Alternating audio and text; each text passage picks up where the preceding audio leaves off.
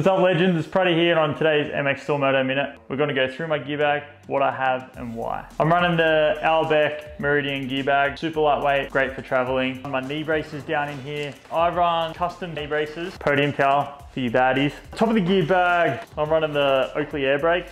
In the main big compartment, I'm running my boot, Gaerne SG12s. I've done a moto minute all about these boots. I'm running a foam chest protector. I find this is a perfect balance between protection and breathability. I'm running Thor Prime Pro gear, the 2022 stuff. They have an all new material here. Such a big fan of it. Fits the body perfect. My most favorite gear I've ever worn. Hands down, the 2022 Thor Prime Pro stuff. Riding socks, uh, we've got the Thor Reflex helmet here, 18 months now, and I'm a really big fan of it. And I'm all about safety. I'm really picky about what I put on my head, and this ticks all the boxes for me. Mouth guard. I feel like a mouth guard is one of the most overlooked pieces of protection. I'm really fussy about what I like to wear as far as protection, and I'll never skimp out. If you're looking to get a lit kit as nice as this one here, check out MX Store right now. They've got everything you need.